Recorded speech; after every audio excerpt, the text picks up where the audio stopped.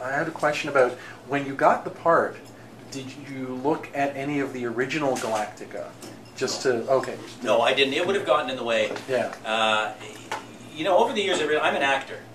Uh, I'm not a writer, and I'm, I'm not a director. It, it, years ago, a friend of mine, uh, Clark, is not with us anymore. He um, came into Toronto. Uh, he was the artistic director at Theatre Calgary.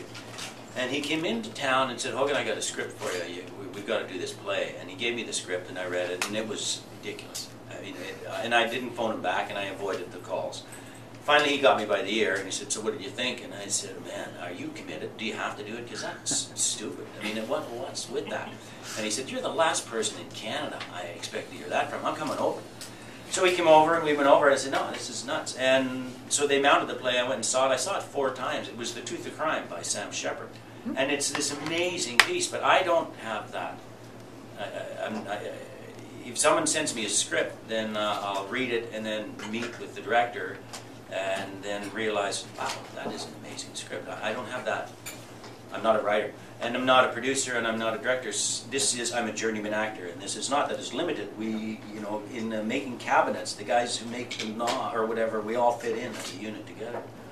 So, um, so I've never had any uh, opinion of the long term of the show. Thank you. Oh, no, okay, never mind. man. Uh, my turn. Um, Okay, in your development of Tigh, I guess before the uh, series started, were there any nuances or things that you considered putting into his personality that didn't end up appearing in the character, like, you know, in the, in the end, when it finally, finally went for, went to filming?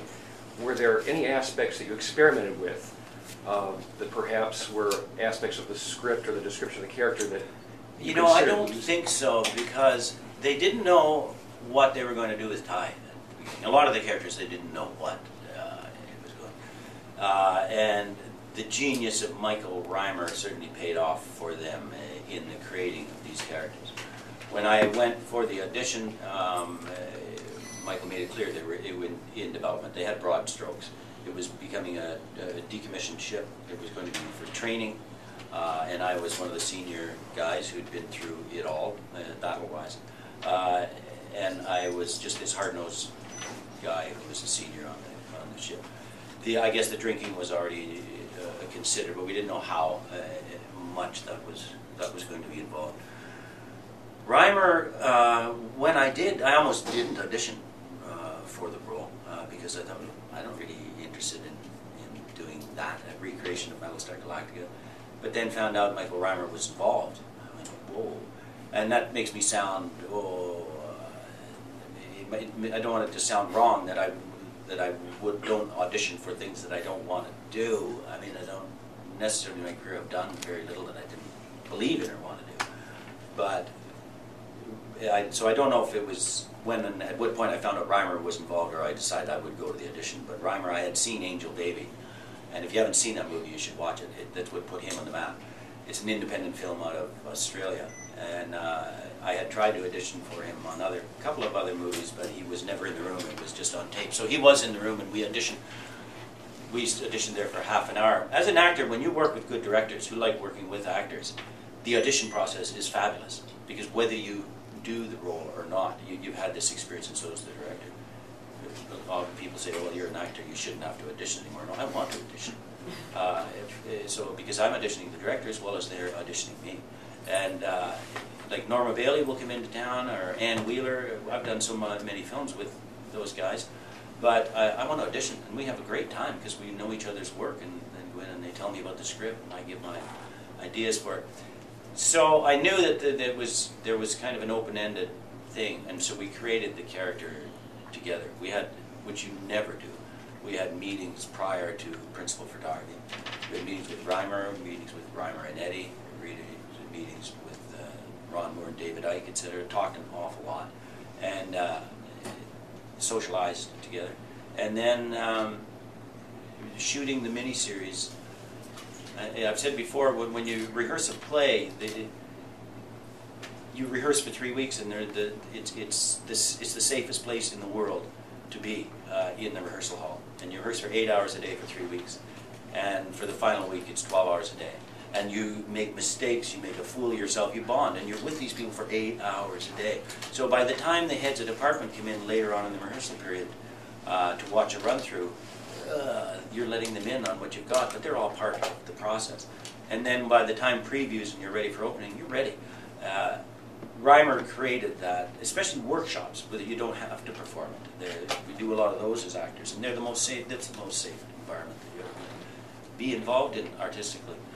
The Rymer created that atmosphere in it, and uh, so we developed that and any ideas that we came up with.